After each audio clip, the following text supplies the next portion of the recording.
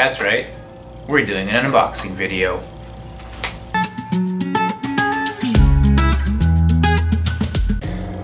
Alright, so I moved because I forgot a tripod. So this is not necessarily the most ideal room to be doing a video in, but this is my first ever unboxing video, so hopefully it goes good. I hope you guys like it. Here, let's get right into it, I guess. So this, as you saw in the beginning, is from Carl's Bait and Tackle, which is by the Catch Company, which is just like another name for the brand. Just a disclaimer for this whole video, I am not sponsored at all by this website, this brand, but I'm just gonna give you my honest opinion and we're gonna take out some baits and just have some fun with them. Look at what I got. So, again, this is a online tackle, like, it's an online tackle store basically. So you just go online. It's just like Amazon for fishing, but yeah, this is my bread and butter. Besides going to Bass Pro Shops, this is my second favorite thing to do in the whole world. All right, highly encourage you guys, if you wanna get into fishing, definitely go check this out. Carl's Bait and Tackle, um, shopcarls.com. I'll leave the link in the description. Boom. All right, here we go. Now, I have to go find something to open this box with, so let's see what I can find. Here we go. Let's see, SpongeBob or Star Wars key? Let's go with Star Wars. I love myself some SpongeBob, but... Alright. Now, I may not be a professional fisherman by any means, but I'm pretty much a professional box opener. Alright guys, before we get started, I'm gonna apologize for the angle. Again, I don't have a tripod and the lighting here is kind of terrible. So like look, if I turn this off, is that better or worse? I think that's worse. Yeah, I mean it's weird. It's, it's gonna be weird. The next one will hopefully be better, but right now we're just gonna do with what we got. Okay. By the way, I know what's in here because I ordered it, but you do not know what's in here, and that's what makes unboxing videos awesome, isn't it? I'm gonna give you guys a quick sneak peek. Alright, so this is kind of just whenever I start to run low on baits, I always go on Shop Carl's, I go to tackle stores like Bass Pro Shops, whatever, I order stuff. This is kind of just me restocking for the season because as you guys know, as I mentioned in my previous videos, it's the fall transition now, so it's getting colder. Those fish are going up shallow. They're getting a little shocked by the changes in temperature. So I just got some baits that'll hopefully do me dirty for the fall fishing season. All right, without further ado, let's get right into it. So first off, we got, coming in hot in the nice beautiful green wrapping paper, we got some Googan Baits Rattlin' Neds. These guys are a really great Ned rig, and what makes them cool is that they have a little rattle inside of them, hence the name Rattlin' Ned. You can skip them along the bottom. They're great for fishing for smallies, largemouth, any kind of bass that's kind of not eating your normal baits. These are a great alternative to throw, especially up north here in Vermont. Next we have the Sukoshi bug. So here I got two different colors because I just absolutely love these guys. We got the black and blue over here and then we got the twilight over here. Again, these are just a more advanced take on your typical Ned rig style. So you hook them up to a weighted hook just hop them along the bottom, skip, jump over rocks. The fish hit them so hard, it's so much fun. These are especially good for smallmouth bass, which we have a lot of up here on Lake Champlain, so can't wait to get these guys out on the water. Alright, after that, we have again another 10,000 fish um, brand, which is also by Catch Co, if I forgot to mention for the Sukoshi bug, but this is a shimmer swimmer. So again, this is just a different take on a little paddle tail swim bait. But what makes this bait so special is that it has little reflective like aluminum inside of it, which just gives it that extra flash and gets those bass to really notice it as it swims through the water. Next we have these finesse shrooms. And like the smart guy I am, I ordered the wrong weight for these. I ordered a 1 6th ounce, and I should have ordered a 1 15 ounce, I think. I mean, these will work. It'll just sink faster, which I don't necessarily want, but I mean, whatever.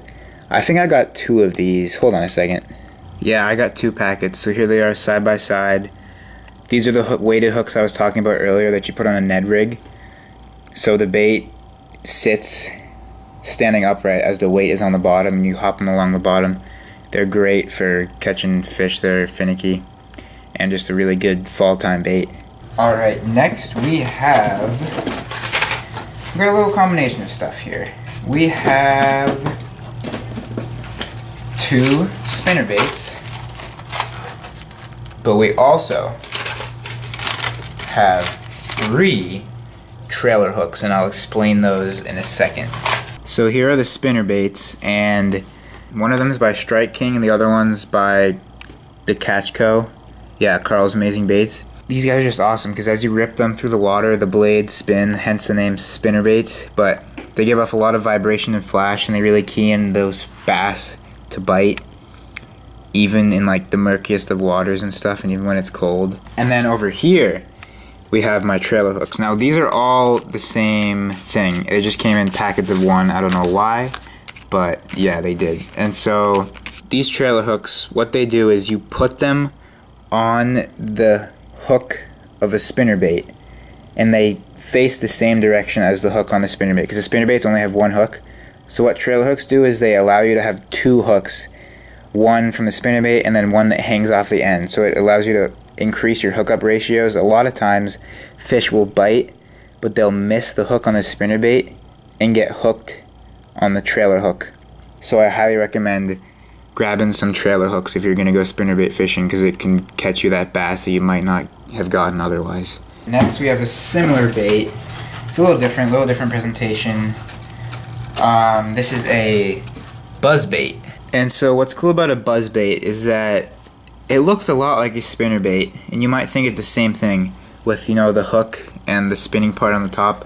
But which what sets us apart from a spinner bait is basically where in the water column you fish it.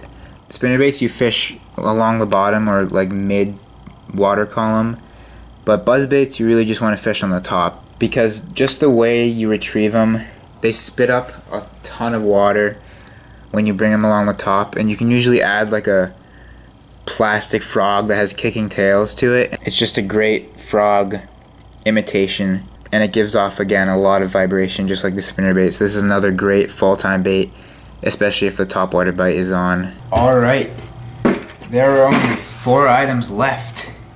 What should I pick out first? Well, you know what I'm picking out. I'm picking out the nails. No, I'm totally kidding. Um, we're going for the crankbaits. Now you may be saying, Eamon, what the heck? You ordered two of the same bait and they're the exact same color. Why would you do that? Well, I'll tell you why I'd do that. One, size, right? This one's way smaller than that one. But two, the brand. Now, I knew I wanted this specific color is called Sexy Shad or OG Sexy or however you want to say it. Basically, it imitates a shad, which is like white and yellowish, I guess. They're mostly just white. But really popular color, especially for fall time. I knew that, so I wanted to get some crankbaits because I didn't have any. So I went on Shop Carl's and boom, they had this guy right here. This called the Baby Boy, I think, because it's so small. It's such a small crankbait.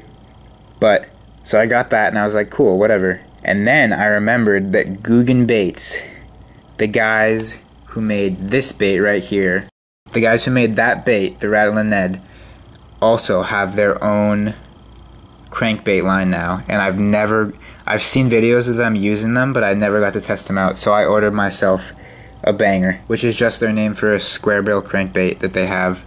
So hopefully, I've seen some really big fish and some really high numbers of fish being caught on this guy.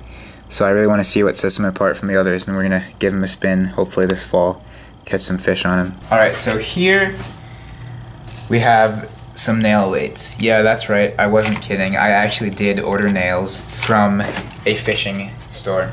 The reason why I ordered these nails is because they are not any ordinary nails. No, they're actually nail weights. They're specifically designed for a type of rig And if you guys don't know what a rig is, that's just like the kind of lure you throw or the kind of setup you have with like a soft plastic. So anyway, I don't know if you guys watched my previous video, the Trout Adventures Part 2, where, I mean, I don't want to spoil it, but I caught some fish with a wacky worm. What this bait allows you to do is do that same wacky worm style, but you put the nail in one side of the worm, which weights it down obviously. So then when you cast it, instead of having the worm slowly sink to the bottom and then just sit there on the bottom flat, what this does is it makes it stand up straight. So as you twitch it and it hops along the bottom, it's kind of the same presentation as a Ned rig where the bait stands straight up, but this is just a little more versatile and you can use it on a bunch of different baits that you might not be able to set up on a Ned rig. So this is a great little cheap weight to have in your arsenal. And finally, the moment I'm sure you all have been waiting for, we have ourselves a tackle box or a tackle tray. So yeah, I got this guy right here just because I knew I was running low on storage because especially if I was ordering all these new baits, right? I'm gonna need something to put them in. So these things are great for bass lures because it's so much room, super compactable. You can just slide it into your bag like a binder for school or whatever, and you can just fit a bunch in in like one small bag. So they're great. I'm gonna put my lures in here, and I'm gonna bring you back when they're all set, and then we're gonna wrap this video up. Just kidding. I'm actually not gonna put the baits in the box right now because that's gonna take way too much time and I'll do it later. I hope you guys enjoyed this unboxing video. Um, let me know if you want to see more stuff like this because I'm always open to do cool stuff as long as it's fishing or wildlife or whatever associated. Alright, we're gonna get real here. Before I end this video, I want to be clear. I paid for this with my own money and let me tell you, fishing is not a cheap hobby, okay? there's maybe some people out there thinking, how you got all this free stuff? What is all this ch super cheap? Blah blah blah. You know, no.